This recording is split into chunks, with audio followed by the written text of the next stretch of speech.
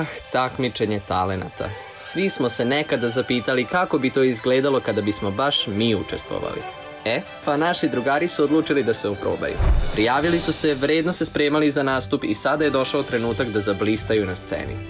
Bez obzira na to koliko su se naši drugari dobro spremili i vežbali, trema je došla da pokvari planove. Trema nas tera da sve stvari u koje smo bili sigurni preispitujemo ili čak zaboravimo. I to je bio nastup naših mladih zvezda Pesmovizije.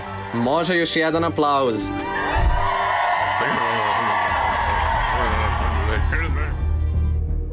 Ma, možemo mi ovo, reče Ćuri sa lažnim samopouzdanjem.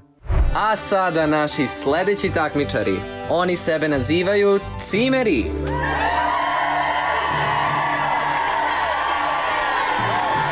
Gde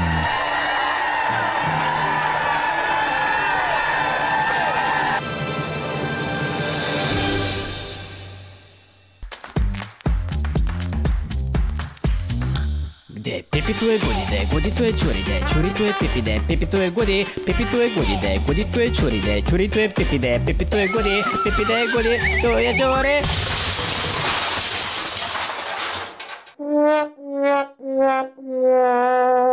Pipide, pipi tu je de godi, tu je čuri, tu je pipi.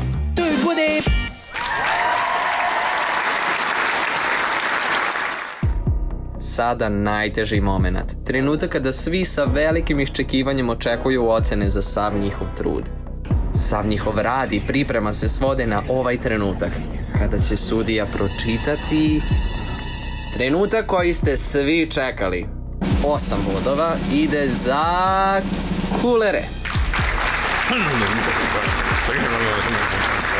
Deset bodova ide za... Cimere. To! Pobedili smo! A 12 bodova ide za Bobija.